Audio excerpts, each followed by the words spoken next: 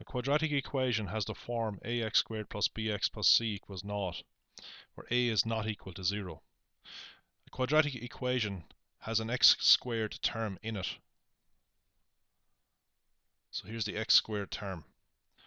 So a can't be naught, because if a was naught, then this would be naught. We would have no x squared term. That means we would not have a quadratic equation.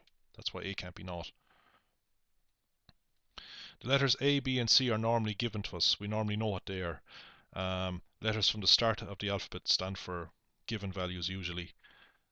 X is unknown. We're often looking for X. We're looking for the values of X that satisfy this equation. X is a letter from the end of the alphabet. Now the roots are, in other words, solutions are x equals minus b plus or minus the square root of b squared minus 4ac all over 2a. Suppose we want to solve this quadratic equation, x squared minus 3x plus 2 equals 0. Well, we write down what a, b and c are. a is the coefficient of x squared. a in this case is 1. b is the coefficient of x. b is minus 3. c is the constant term.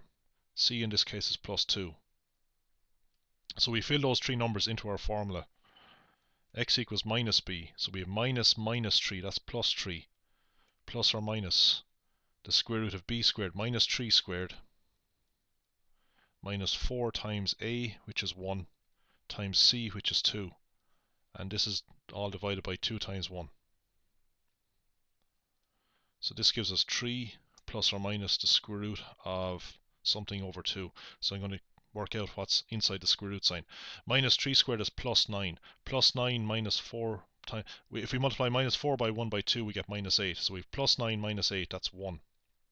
So we end up getting 3 plus 1 over 2, or 3 minus 1 over 2. The square root of 1 is 1. The plus or minus means we have two answers, two solutions to the quadratic equation. If we take the plus sign, we get 3 plus 1 over 2, which is 4 divided by 2, which is 2. If we take the minus sign, we have 3 minus 1, which is 2. 2 divided by 2 is 1.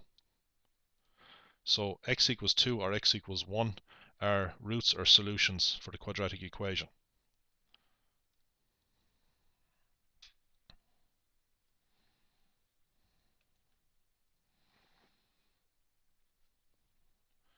Let's check x equals 1. So we plug 1 into this. So we get 1 squared minus 3 times 1 plus 2. So we just replace x with 1. And if we work all of this out, we should get the right hand side, which is 0. Um, so we have 1 minus 3 plus 2. Well, 1 minus 3 is minus 2. Minus 2 plus 2 is 0, so that does check out. Let's check the other solution. x equals 2. So we plug 2 in for x. So we have 2 squared minus 3 times 2 plus 2.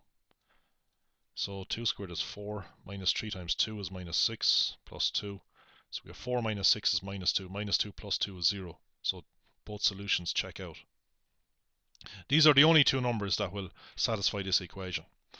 As a matter of fact, for all quadratic equations, there are at most two different solutions.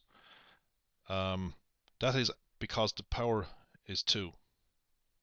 If the power was 3, we would have at most three different solutions.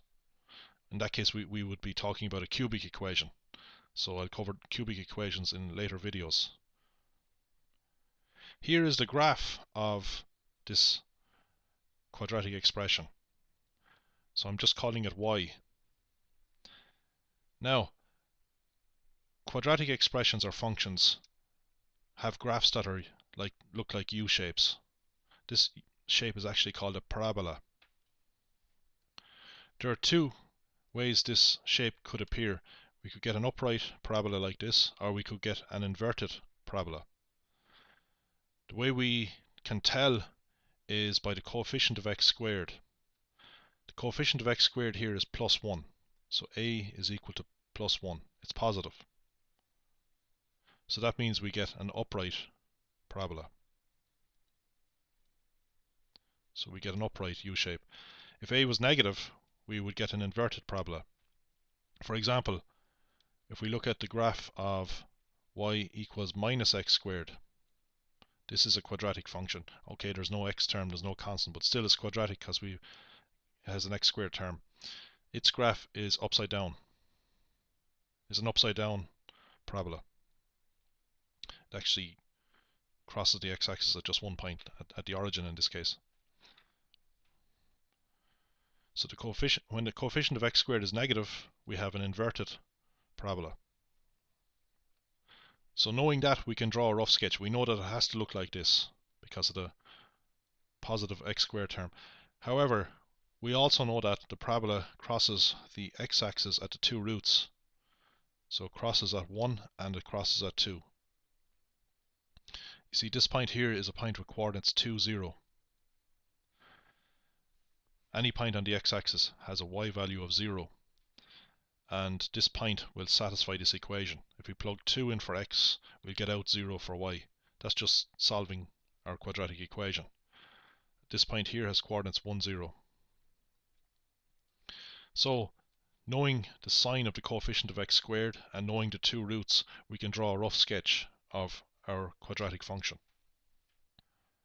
Now we could have also solved this equation by factorizing it. We could have got the factors of this quadratic expression. So we have x here and x here, because x times x gives us x squared. Then we get the factors of plus 2. Now, there are different factors of plus 2. It turns out that the correct ones for this equation are minus 2 times minus 1. Minus 2 times minus 1 gives plus 2. Now how do we know that we get all of this? How do we know that we get this term here? Well, if we multiply like this, we can check for that middle term. Multiplying in the middle here, we get minus 2x. Multiplying these outer terms, we get minus 1x. Combining these terms, these results together, we get minus 3x which is indeed a middle term. So that's how, how we know, that's a quick way to check that our factors are correct. So we don't have to do the entire multiplication. You know, x times x gives us x squared, minus 2 by minus 1 gives us the plus 2 at the end, and to get the term in the middle, we multiply like I showed you. Now, if the product of two things is 0, that means either of them must be 0. The only way we can get 0 on the right hand side is if either x minus 2 is 0 or x minus 1 is 0. If x minus 2 is 0, that means that x must equal 2. If x is 2, if we plug 2 in here, we get 2 minus 2, which is 0. And we'll have 0 times 2 minus 1. Well, that's just going to be 0. Similarly, if x minus 1 is 0, then all of this will be 0 this leads us to x equals 1. So in other words, if we plug 1 in here, we'll get 1 minus 1, which is 0, and we'll have 0 times this thing. This thing will actually be 1 minus 2. So we'll have 0 times minus 1, which will work out to be 0. So when you have 0 on the right hand side, you just uh, put each factor equal to 0. So here are our two solutions. Now suppose we want to solve this equation here. Minus 8x squared plus 8x plus 2 equals 0. As it stands, we could write down what a, b, and c are. a is the coefficient of x squared, which is minus 8. b is the coefficient of x, which is 8. c is the constant term, which is plus 2. We could plug these numbers into our equation and get out our two solutions. Nothing wrong with that. However, if you want to, you could have simplified this down. So I will just do some slight simplification. Well, what we could do is divide all of this equation by minus 2. Or we could divide by plus 2 and then change the signs. Okay, I'll divide by plus 2 first of all.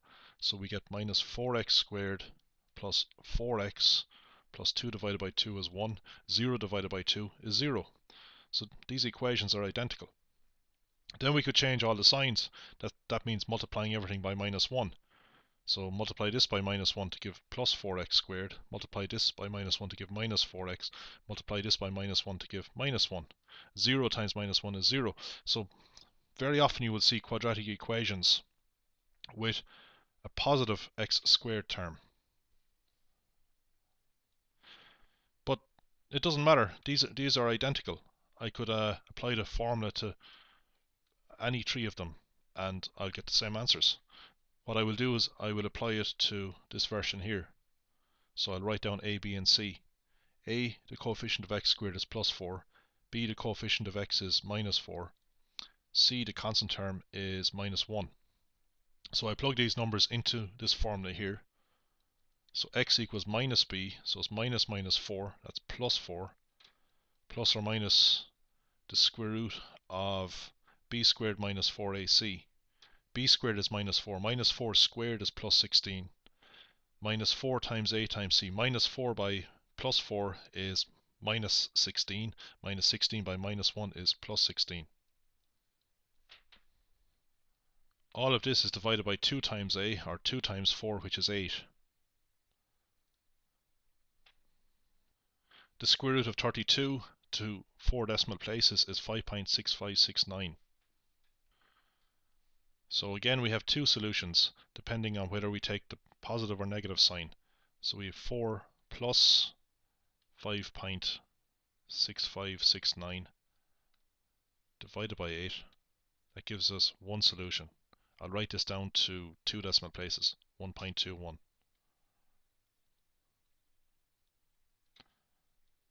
And the other solution is got by taking the minus sign, 4 minus 5.6569. Divide that by 8. So to two decimal places, this is minus 0.21. Here is a graph of this function here, y equals 4x squared minus 4x minus 1. It'll cross the x-axis at the two solutions at minus 0.21 and at plus 1.21. It's an upright parabola, up, upright u-shape because the coefficient of x squared is positive. The coefficient of x squared is plus 4.